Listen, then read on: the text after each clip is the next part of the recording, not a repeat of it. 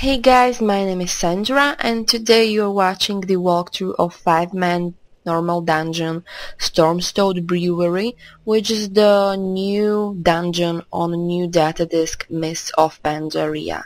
Today we are gonna show uh, the most important and the final boss in this Stormstout Brewery which name is Yan Zhu the Uncasked. Uh, he got those abilities, Brew Bolt, Brew Mastery Wheat, Brew Mastery Ale and Brew Mastery Stout. Brew Bolt is very important for tank.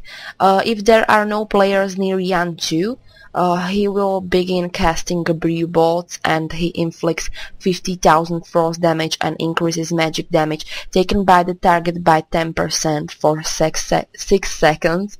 Sorry. And this effect stacks uh, so be near the Yan Zhu uh, near the tank and it will be okay only melee damage, no spell damagers. Our second one is Brewmastery Wheat. Uncle Gao's crazy Experiment, grant Yan Zhu one of two wheat brew abilities. Uh, First one is bloat. Yan Zhu infuses a random player with an excessive quantity of brew. This bloat causes brew to gush from their ears for 30 seconds and it's inflicting 20,000 frost damage and knocking back targets in a 10 degree cone on either side of bloated player. Uh, blackout Brew, the heavy Blackout Brew inflicts 15,000 frost damage to all players and applies 3 stacks of Blackout Brew. Uh, stacks can be removed by moving and jumping. If Blackout Brew reaches 10 stacks, the brew stuns the player for 10 seconds. So moving is very important also. Uh, third one is Brewmastery Ale. Uncle Gao's new fermentation producers grant Yan Zhu one of two ale brew abilities.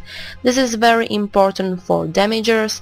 Uh, he Yan Zhu covers himself with 8 small bubbles. Each bubble grants Yan Zhu 10% damage reduction.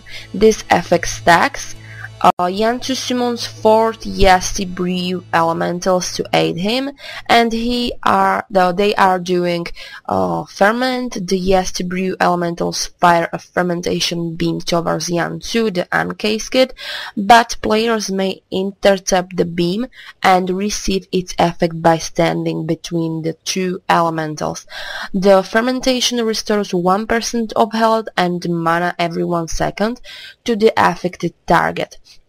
They are also doing Brew Bolt, which inflicts 10,000 frost damage.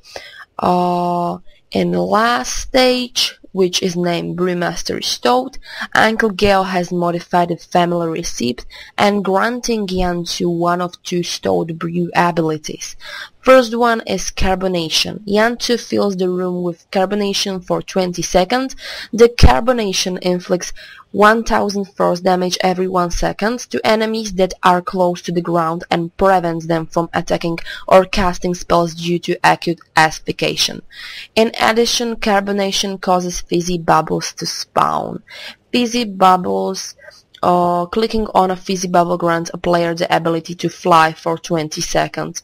Uh, so don't do a mistake which I do in my video. You have to click on bubbles and it will be okay or jump in Well of Sat is second ability in Brewmastery Stout. Yan Zhu periodically summons four walls of Sudsy Brew. The onrushing brew inflicts 50,000 frost damage every 1 second to players that stand within the wall and stuns them for 5 seconds. Satsi uh, nature of Yan Zhu grants player the ability to jump extra high. So pay attention on it and now we can have a look how it works in the whole encounter. Thank you for watching and bye!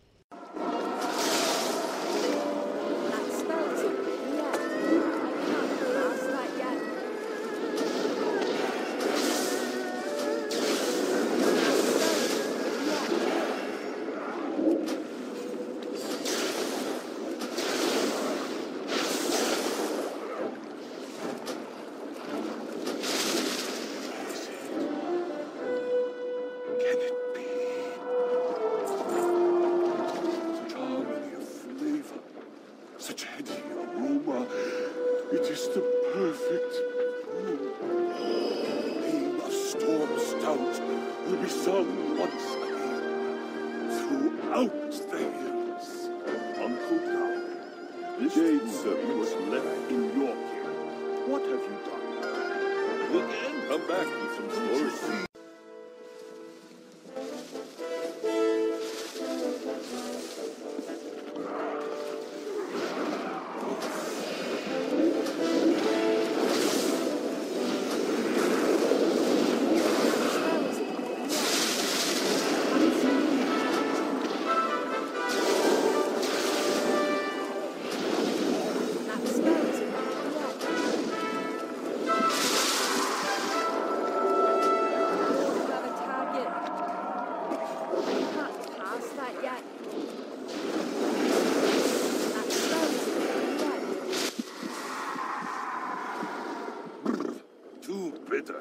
Just a drop of honey and a cane of sugar and maybe some corn. Yes, more corn.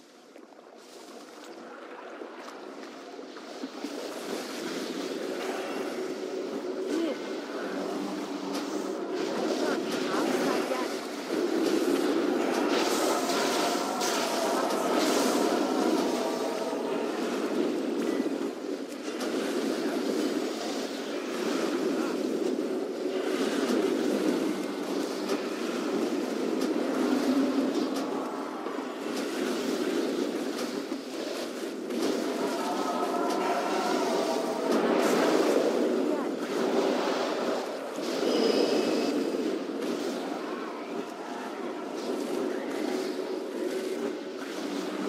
That's still recharging. Need a target.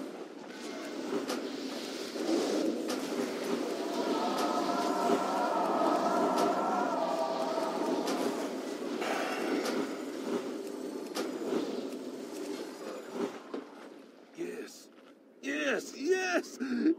No, no, no, no,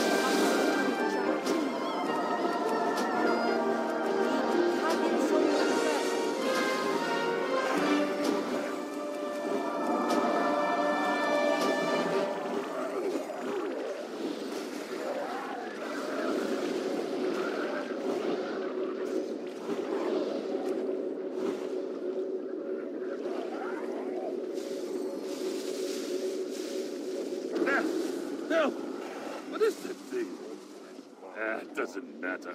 Nothing will stop me now. Not when I'm so close. Maybe if I just look at it.